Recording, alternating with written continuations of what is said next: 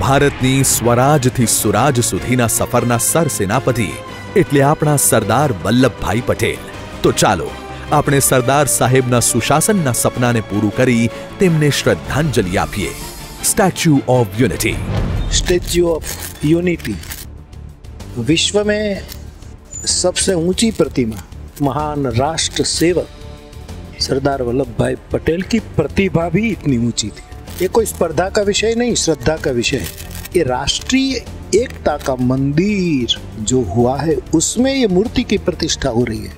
एक महान राष्ट्रभक्त, सरदार वल्लभ भाई पटेल की प्रतिमा एक दूसरे महान राष्ट्रभक्त के हाथों से लोकार्पित हो रही है। ये राष्ट्र गौरव और राष्ट्र की प्रतिभा का महोत्सव है।